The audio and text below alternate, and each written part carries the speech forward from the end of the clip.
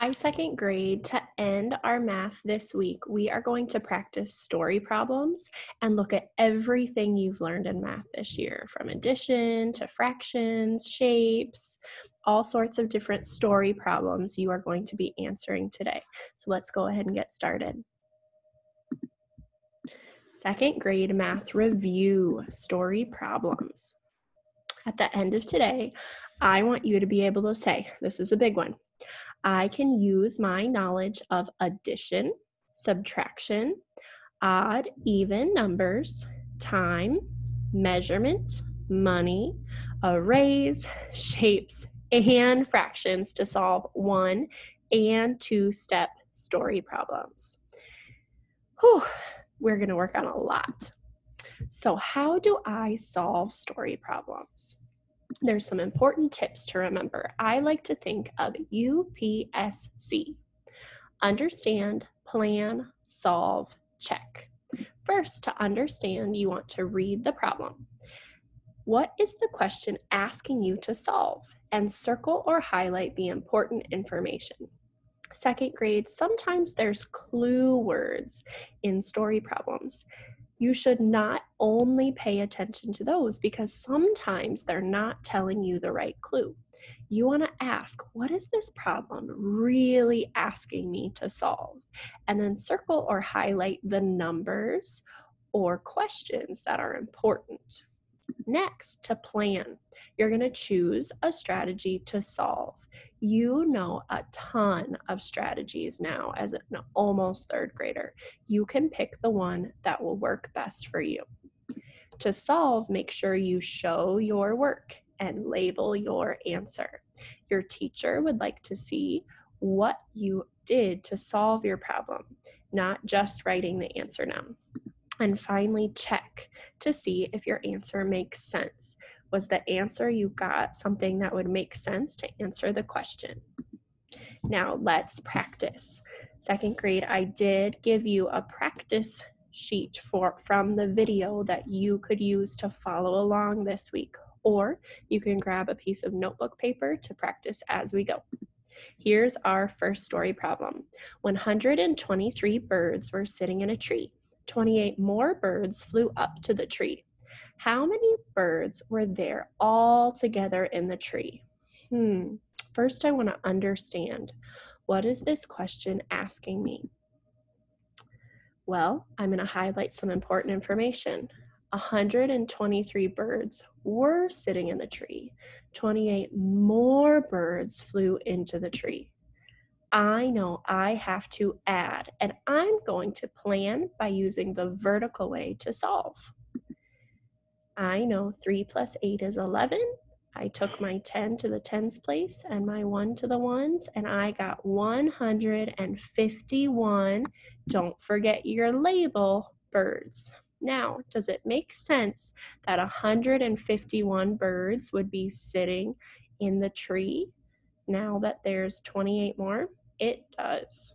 Let's try our next one.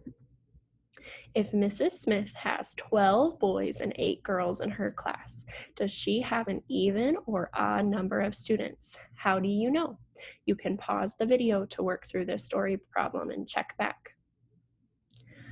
Hmm, first I know that 12 boys plus 8 girls, we need to figure out the total, which is 20. And I know that zero is an even number. So it is an even number. Time. A safari tour was scheduled to start at 5 o'clock in the afternoon, but it started an hour and 15 minutes late. When did the tour start? Hmm, pause the video and see if you can figure it out the tour was supposed to start at five o'clock, but it started an hour and 15 minutes late. So I need to figure out when did the tour actually start. I need to add one hour to five o'clock, which gets us to six o'clock. And then I'm going to add 15 more minutes. So 6:15 was when the tour started. Measurement. Tyler's pet snake was 26 inches long. Now it is 68 inches long. How much did the snake grow? Hmm, I highlighted my important information 26 inches long and 68 inches long. I need to figure out how much the snake grew. So at 68 inches long now, it wouldn't make sense for it to be more than that. So I think I need to subtract 26 from 68, and I plan to use the vertical way. 8 minus 6, hmm, 6 minus 2, 42 inches. Second grade, do not forget to put your label on your story problems. Let's check out our next one. Money. Molly wants to buy a new kite. The kite costs 350. She has one dollar and eight quarters. Does she have enough to buy it? Hmm. Pause the video, see if you can figure it out. The kite costs 350. That's important information.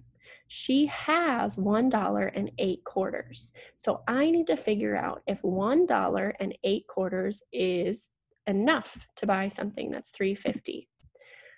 4 quarters are a dollar. 4 quarters are a dollar. 4 plus 4, there's my 8 quarters and $1 is a dollar. So that means she only has $3. She does not have enough money to buy the kite. You can see here that I wrote a sentence to answer my story problem. Sometimes a story problem needs more than just yes or no. Arrays. I baked four rows of blueberry muffins with three muffins in each row. How many blueberry muffins did I make? Go ahead and pause the video to solve on your own. I see that I have four rows of blueberry muffins with three muffins in each row. So I decided to draw a picture. I have four rows with three muffins in each row. And then I'm going to count them all up. 3 plus 3 plus 3 plus 3 equals 12. You also could have done 3 times 4 equals 12. I made 12 muffins. Shapes. I am a shape with three sides and three angles.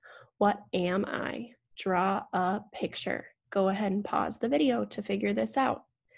Three sides and three angles, and I need to figure out what shape am I? I am a triangle because I have three sides and three angles. And finally, fractions. Emily wanted to split the pizza into four equal parts to share with her three friends. What fraction of the pizza will each person get? Go ahead and pause the video to figure this out. I chose to look at the splitting the pizza into four equal parts and I wanted to draw mm. a picture. So I drew my own pizza and I split it into four equal parts. And I knew that four parts means that there's one fourth of the pizza for each friend. Second grade, as you work through your story problems this week, do not forget that it is important to follow these steps. Read the problem, ask yourself what is the question, highlight the important information, choose a strategy to solve, show your work, label your answer, and check to see if your answer makes sense. I can't wait to see what you do this week. Bye.